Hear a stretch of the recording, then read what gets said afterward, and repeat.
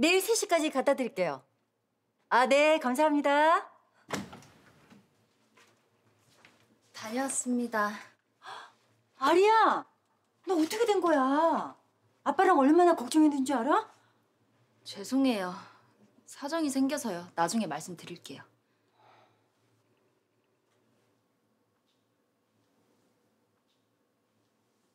쟨 누구야? 안녕하세요. 아는 작가 선배가 급하게 연락이 와서는 지방에 출장 가야 하는데 형부도 두바이 파견 근무 가서 얘를 맡길 데가 없다고 연락이 와서요. 아는 작가 선배? 누구? 그게 미진 언니라고 왜 요즘 선생님 찾아주는 프로그램 있잖아요. 어딨어요 스승님. 그 프로 하는데 출연자 찾으러 해남에 내려가는 바람에 제가 며칠 맡아주기로 했어요. 어, 그래.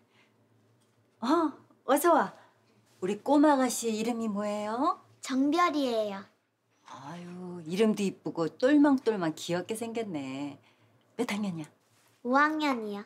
아, 아니 그럼 학교는 어떻게 가? 여기 밑에 묵정초등학교 다녀요. 미진 언니가 근처 살아서. 일단 저희 짐 가방부터 놓고 올게요. 어, 어, 그래.